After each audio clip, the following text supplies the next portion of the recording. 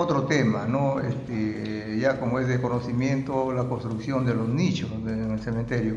¿Nos puede informar acerca de algo, este, alcalde? Sí, eh, eh, ustedes conocen de que en vista a la pandemia que ha habido, pues prácticamente los, todos los cementerios han colapsado prácticamente, ¿no? Y entre ellos que tenemos en nuestro cementerio de Roma. Ustedes saben pues, que tiene un terreno limitado.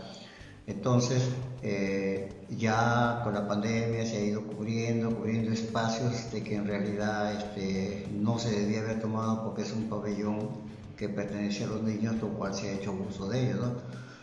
Y entonces ya hemos visto la necesidad también de nuevamente conversar con Casarande para que al menos, si es que ya no se puede hacer ese proyecto de 800 mil a 900 mil soles que se iba em-, emplear para modificación, construcción o arreglo del cementerio, entonces hemos solicitado de una forma muy urgente que nos construyan nichos, lo cual si ustedes pueden darse una vueltita por el cementerio van a ver que ya están casi terminando ya la construcción de nichos. Es cierto, es pocos, pero de todas maneras esos nichos nos van a ayudar a, salvar nuestro problema social que vamos a tener aquí en Roma. Cabe señalar, alcalde, que este terreno ya pertenece a la municipalidad, ¿no? Sí, eso nos donó la Casarana en el año 2018, junio, julio, por ahí más o menos, lo cual se hizo aquí en nuestro centro poblado, el recibimiento del documento de donación, lo cual ahorita ya este, está en poder de la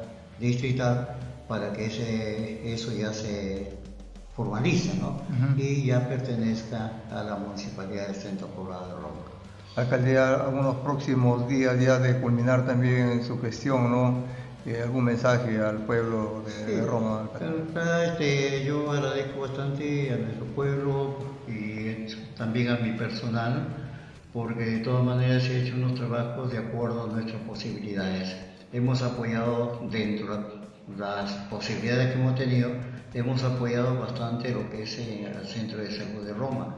Usted sabe que vino la pandemia, eh, había que apoyarlos. Bueno, se ha apoyado para poder atender a nuestra población y así de esta manera que se vacunen todos para entonces estar más tranquilos. Como hoy, ¿no? Hoy ya vemos ya que la gente ya está andando sin mascarillas, ya está tranquila, ya no tenemos ya esa, esa presión que había anteriormente sobre esa pandemia.